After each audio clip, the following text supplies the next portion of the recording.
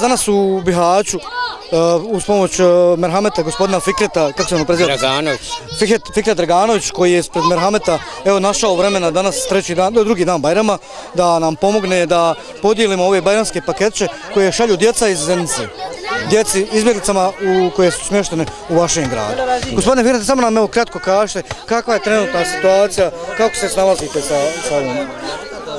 Pa mi imamo jedan veliki problem zato što je ovo dosta neorganizirano. Dakle, nema faktora države koja bi trebalo ovo sve da uredi.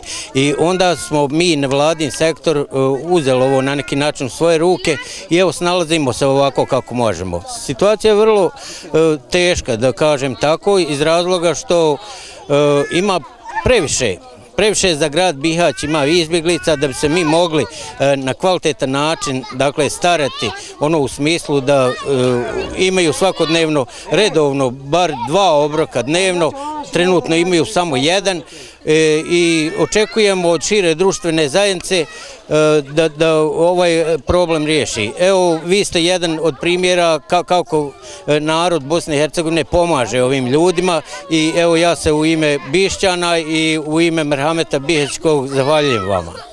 Hvala i vama i mi se nadamo, mi smo daleko od Zence, ima preko 300 km da dođemo do vas, ali evo htjeli smo u djecu makar ovim skromnim bajramskim paketićima da, eto, da ih obradujemo, oni su daleko od svoje kuće, a i, rat koji je bio naš iza nas u Bosni i Hercegovini postavio slične situacije, tako da smo mi se našli da se osjećavamo sa tim ljudima, eto da ih makar na trenutak za Bajram kao što kajemo obradujemo.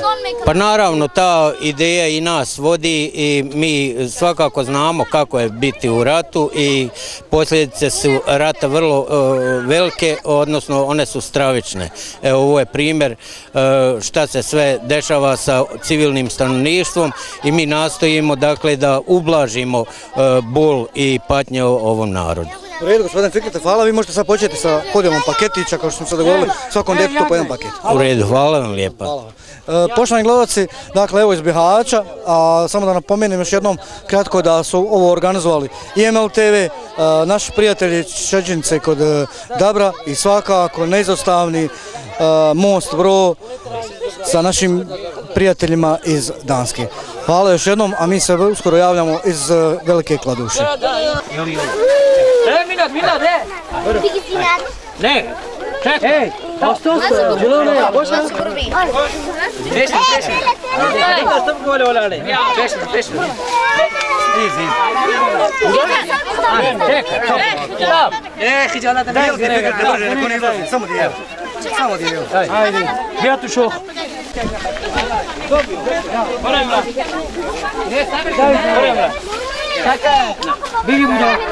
بچیم در خانه از پایی تا زار شده چیست؟